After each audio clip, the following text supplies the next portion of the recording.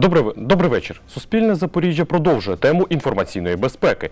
Чи доходить радіо та телесигнал станції Російської Федерації до Запоріжжя? Що Міністерство інформаційної політики робить для інформаційної безпеки та з ким координує свої дії? Про це сьогодні у темі дня. У студії для вас працює Віктор Дерев'янко. Пряму трансляцію нашої програми ви можете дивитися на нашому пабліці у Фейсбуці або на нашому сайті. Ми скористалися тим, що до Запоріжжя приїхала Еміне Джапарова, перша заступниця міністра інформаційної політики України. Вітаю, пані Еміне. Добрий Дякую, вечір. що знайшли час для того, щоб завітати до нашої студії. Дякую за запрошення. Нагадаємо, що 13 червня у запорізькій маршрутці номер 80 волонтер Андрій Ярмохін зробив зауваження водію, що той слухає радіо Російської Федерації, де у новинах йшлося про досягнення Володимира Путіна, президента Росії. Водій на зауваження не зреагував. Між чоловіками сталася бійка. Детальніше пропоную подивитися у сюжеті наших колег із новин.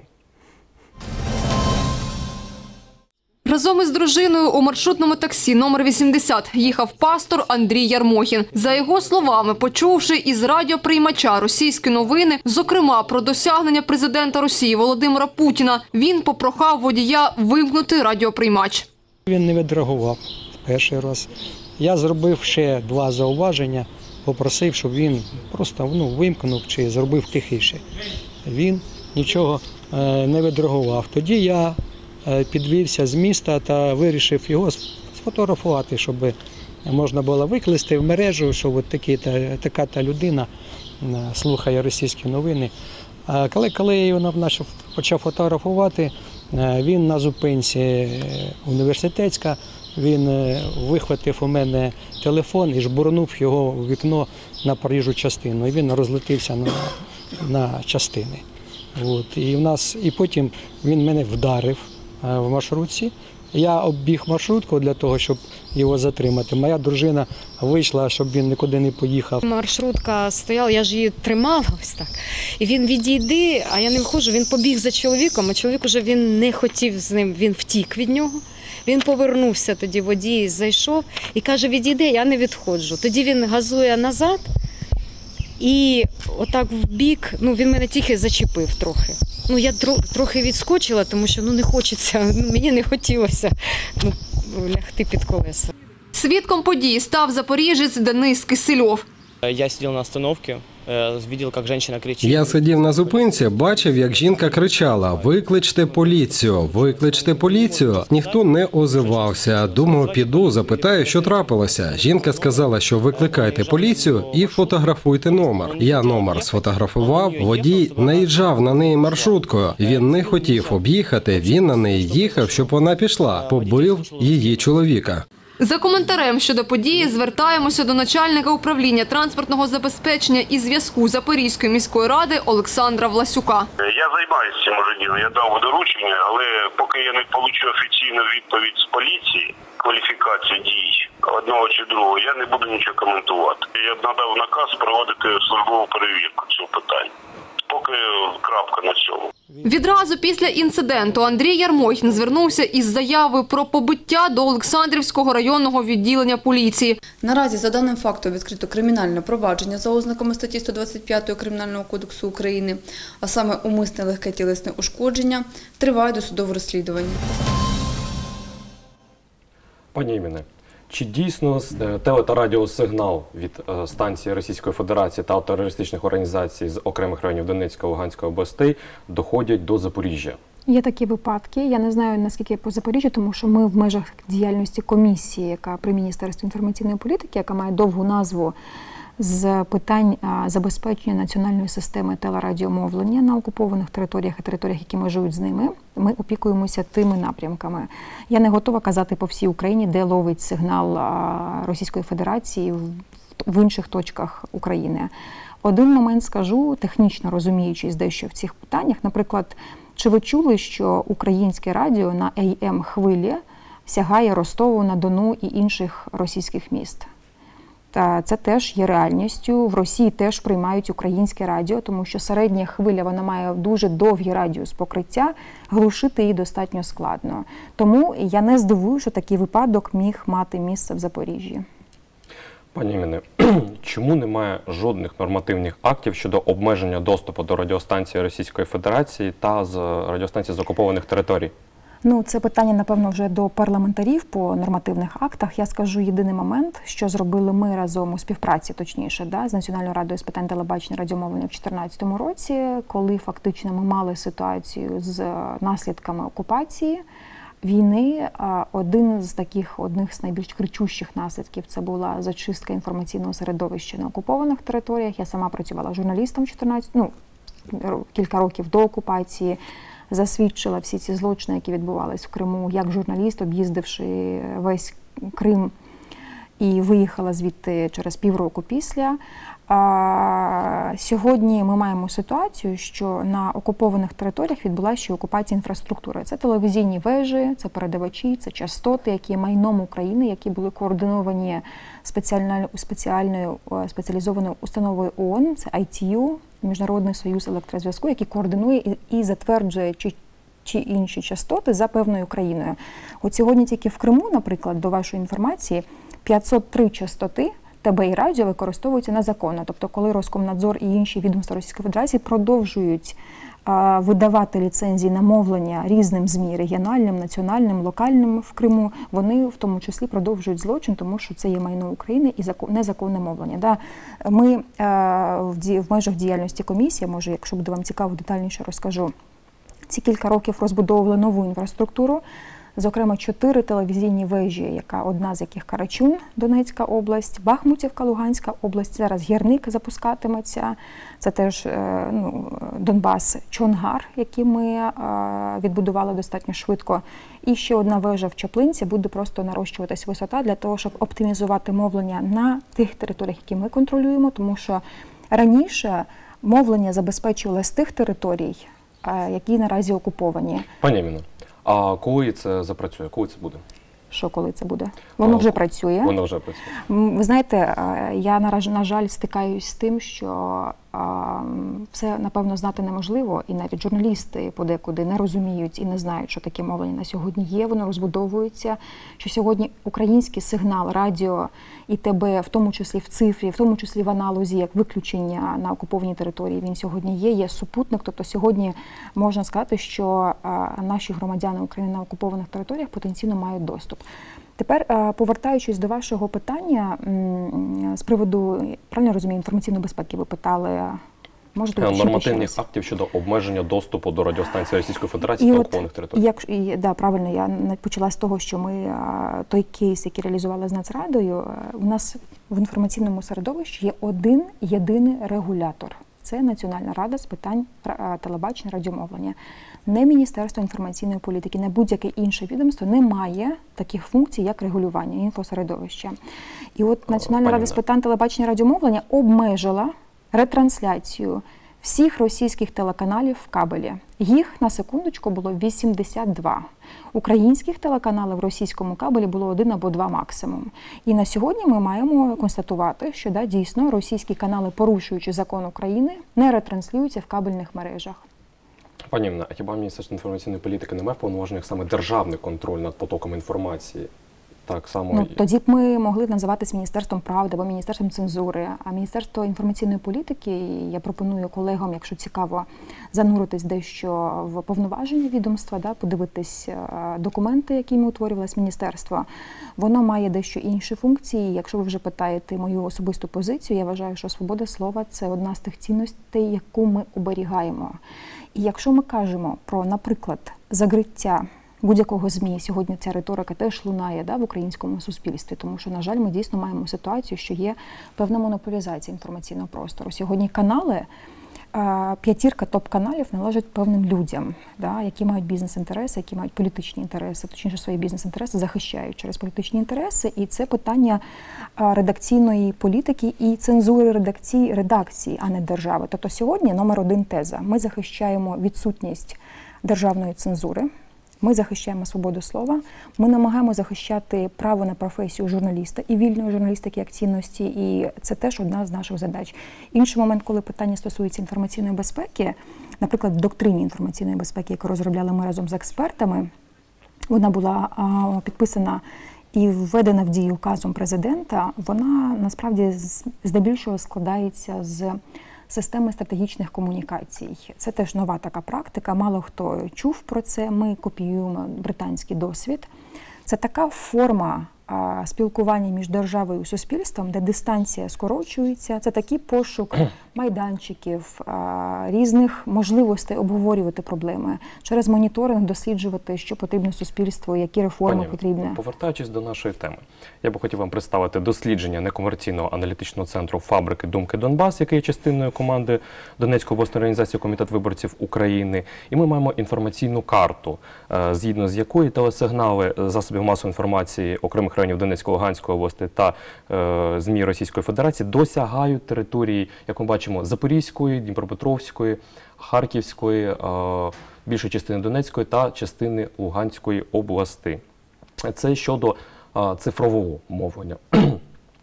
Пані Міне, скажіть, будь ласка, як е, саме з цифровим мовленням о, вор- ворога можна боротися? Ну, дивіться, от фабрика Думки Донбас це найбільший партнер нашого міністерства, і вони залучені у всіх заходах, які реалізовує міністерство по напрямку Донбасу. Тобто керівник цієї е, організації це радник міністра з питань е, Донбасу. Перше, друге, якщо ми кажемо про те, як боротись сигналом з будь-яким сигналом, цифра, середня, ефірка, аналог будь-яким сигналом, то це воєнна операція. Система глушіння це є воєнна операція, це є спеціальне обладнання, спеціальна техніка, яка купується, спеціальна подача. Ну там це система така, яку не реалізовує Міністерство інформаційної політики в межах своїх повноважень. Тому я розумію вашу риторику. Ви зараз я знаєте, я відчуваю себе те, що притиснутою.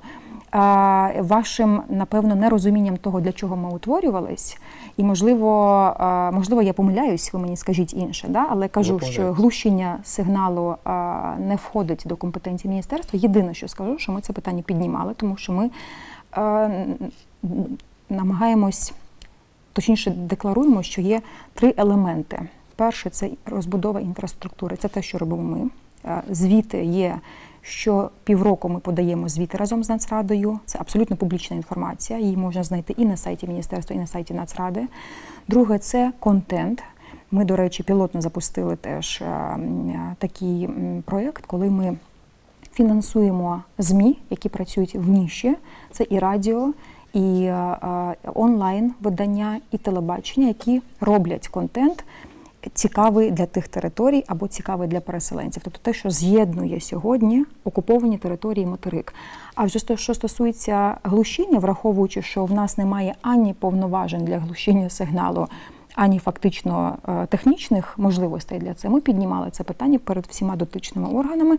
Наскільки я знаю, система Серпанок е, була закуплена з е, Державного резервного фонду для того, щоб забезпечити це глушіння. І інший момент, враховуючи, що це є військова операція, навряд чи ви знайдете в доступі інформацію про це глушіння.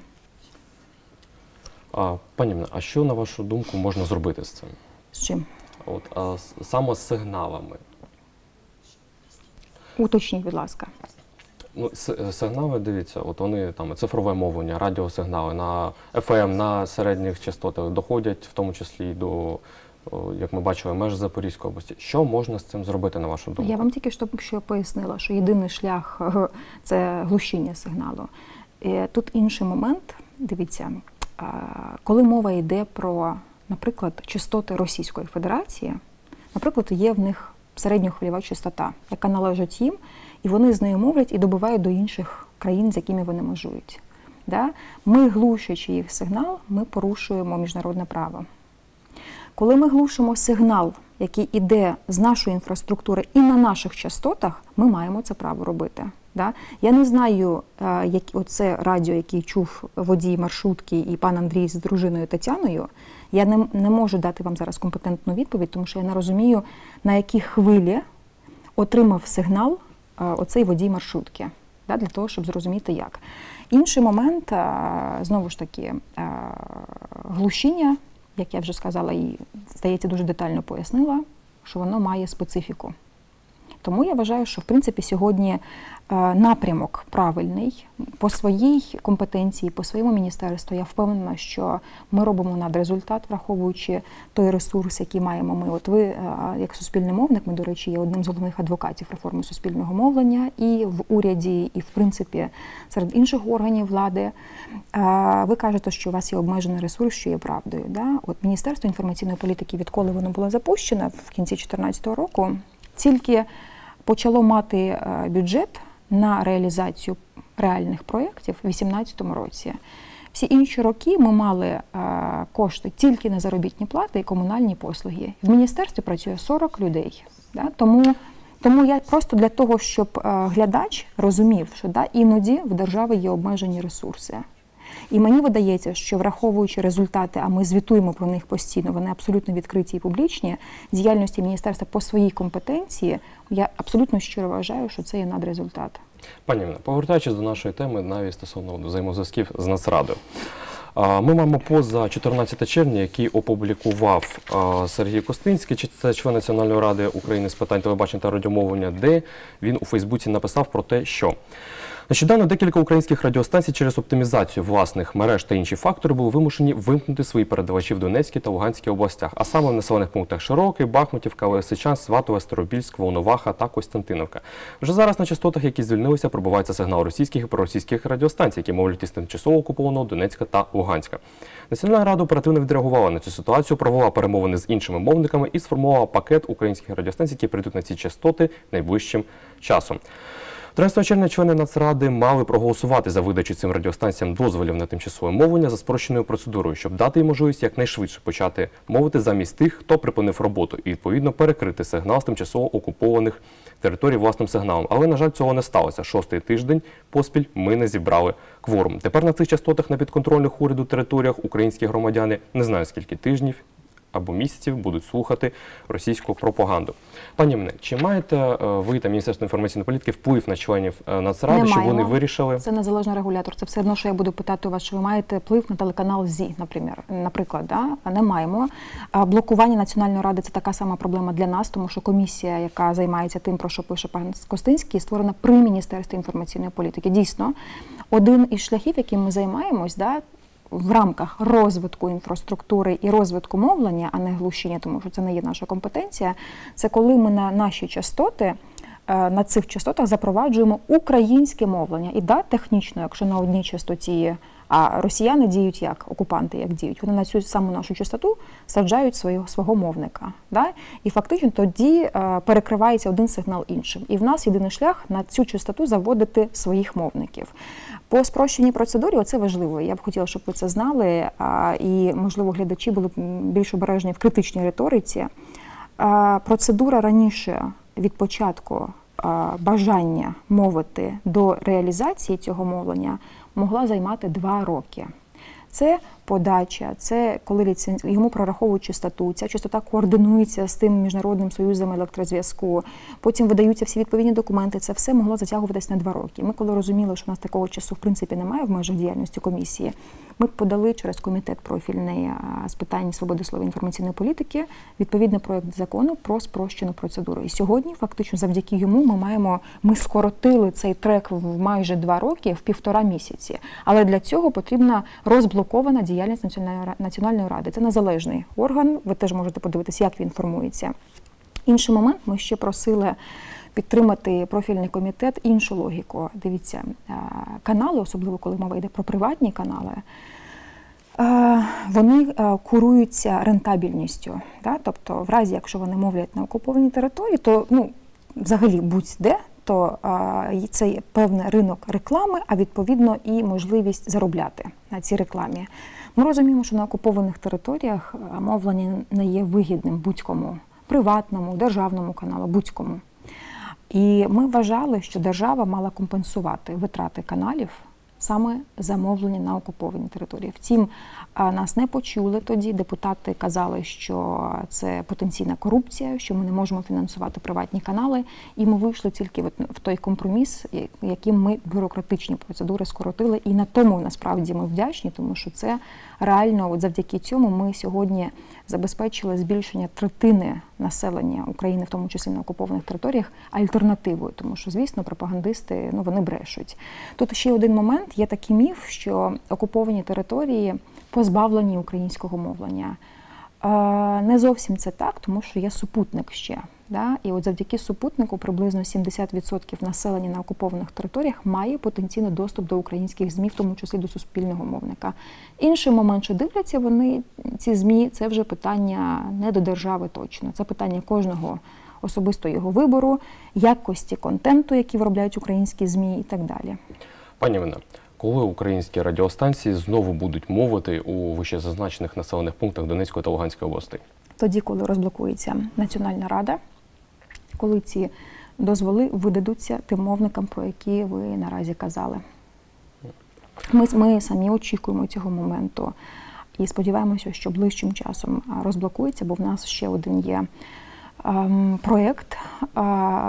Я не буду його зараз е, оголошувати детально. Ми спромоглись отримати від наших донорів, від наших партнерів е, певну кількість цифрових передавачів безкоштовно. Це нові німецькі передавачі, які забезпечать дуже потужне мовлення, точніше збільшать це мовлення вздовж кордону, і в тому числі з окупованими територіями. Мова йде про 12 цифрових передавачів, які я особисто домовляла з нашими партнерами, щоб вони придбали. І ми вдячні. Ми про цей проект будемо незабаром казати. І ми теж чекаємо, поки розблокується Нацрада, щоб завершити вже цей проект, який має давнину в рік. Пане Імне, е, на вашу думку, яка повинна бути відповідальність за ретрансляцію е, Росі... е, радіо, радіо, телерадіо е, Російської Федерації та окупованих територій ОРДЛО?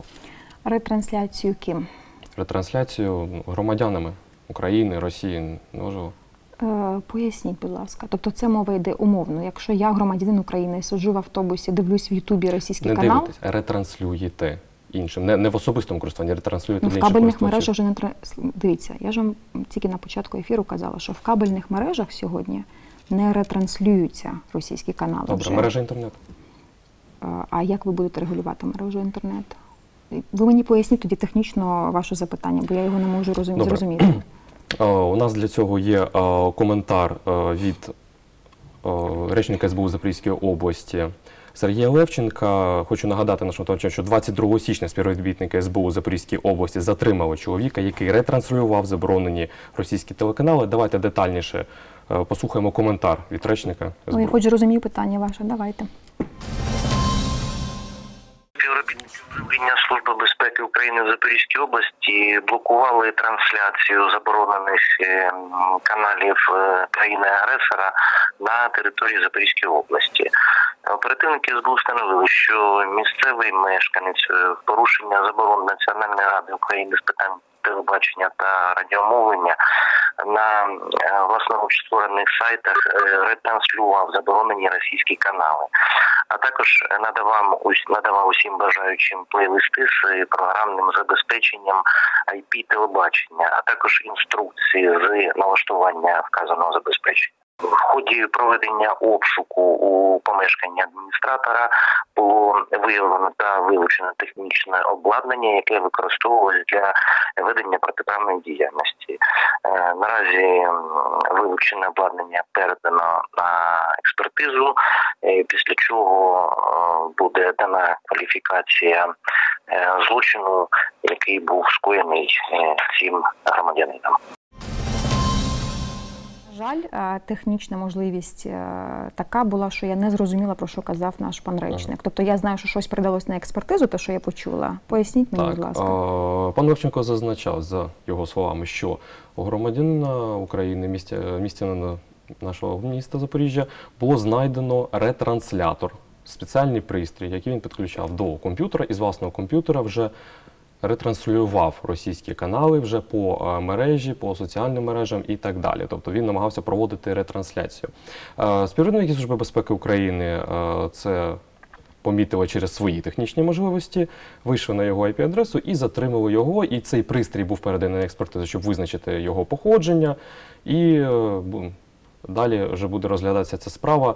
Хочу нагадати нашим телеглядачам, що це ситуація склалася 22 січня цього року. Був затриманий цей громадянин. Наразі справа перебуває на розгляді. То от, от, до речі, мені здається, що вам потрібно частіше питати правоохоронні органи, які, яка відповідальність в цього громадянина, тому що тут однозначно розумію, що будь-яка відповідальність Ще, має бути в межах закону. Пані Іміне, так ще триває слідство. Ну тоді дочекаємо слідства. На вашу думку, на вашу думку, що потрібно робити, яке покарання може бути саме таким А, от громадянам, які от ретранслюють тут- пропаганду ворога? І я тут буду уважною в оголошенні будь-якої своєї думки, тому що я є політичною посадою, є політиком. Я не хочу спекулювати на темі, яка має абсолютно а, інший контекст. Да? Якщо є порушення закону, має бути процес, який наразі з ваших слів я зрозуміла триває. І я точно знаю, що будь-яке рішення по а, умовних санкціях для людини, ну тих чи інших діях, має бути в межах закону. Пані Іміне, Тому що якщо я зараз оголошу будь-яке припущення своє суб'єктивне, це може бути підставою для подальшого використання і, і, і, і, і певної маніпуляції. Добре, пані Ім- пані пані Іміне, я вибачаюсь. Вчора я провів таке невеличке дослідження особисто і намагався зайти на сайт забороненої комуністичної партії України. І е, більш того, я хочу зазначити про те, що я зайшов туди без проблем, без е, VPN-сервісів. Це е, нагадаю що нашим товаришам, що VPN – це програми, це ті програми, які можуть обходити блокування. І е, як ви бачите, тут зазначена дата 19 червня 2019-го, і е, спокійно заходжу на сайт забороненої партії. До того ж ще можемо помітити з доменом UA. Пані Міне, чому громадяни України мають доступ і загалом чому працює сайт забороненої в Україні Ну, це організації? знову це ви знаєте, от коли я вам розповідаю про якісь успіхи і про те, що ми робимо, я відчуваю, що вам не цікаво, тому що починаєте задавати інші питання. Я відчуваю, що ви не готові чути про те, про надбання і діяльності міністерства, але в тому числі ви наразі задаєте це запитання, які не зовсім по адресу. Я скажу, що, що робили ми нашими експертами, тому що всі наші проекти ми скоординуємо з експертною радою. Це дуже поважні медійники, це громадські організації, які теж е, в цій сфері працюють. Ми напрацювали певний перелік тих сайтів, які з нашої точки зору на підставі закону несуть загрозу е, національній безпеці. І ми цей перелік сайтів далі передаємо до відповідних служб, зокрема Служби безпеки України, тому що подальший процес це не компетенція Міністерства інформаційної політики. Да? І ми ще раз наголошуємо, що такі процеси не можуть бути політичними. Не можуть ніхто не, має права закривати той чи інший а, сайт політичним рішенням, да? виключення це Ради національної безпеки е, і оборони. І ми вважаємо, що якщо є такий сайт, ми, до речі, напрацювали свій перелік, передали його, і тут має бути процес і судове рішення по тій чи іншій, по тому чи іншому контенту. В демократичних країнах іншої логіки бути не може. Тоді, якщо ми будемо просто робити так, як вони роблять в Російській Федерації, ви знаєте, напевно, як вони роблять. Да? Тобто там блокуються десятками українські канали, ЗМІ, онлайн-видання. Незаконна мова відбувається мовлення на окупованих територіях, фейк-ньюс, пропаганда, шалена когнітивний вплив на людину. І я не хочу жити в такій самій країні, тому що я часто чую таку риторику. От дивіться, як потужно працює російська пропаганда. От ми маємо так само потужно працювати. Ну, по-перше, жодна країна в світі, жодна, навіть маючи ресурс, не вкладає стільки грошей, скільки це робить Російська Федерація в інформаційний простір. А з іншого боку, в короткостроковій перспективі це дає відчуття потужної пропаганди, а в довгостроковій це відсутність критичного мислення. І ми не можемо рухатись таким самим шляхом. Пані на жаль, наш ефірний час вже закінчується. Е, Дякую вам за те, що ви виділили час та завітали до нашої студії. Е, Дякую нашим доглядачам, що сьогодні були суспільним мовленням Запоріжжя. До зустрічі на Суспільному. До побачення.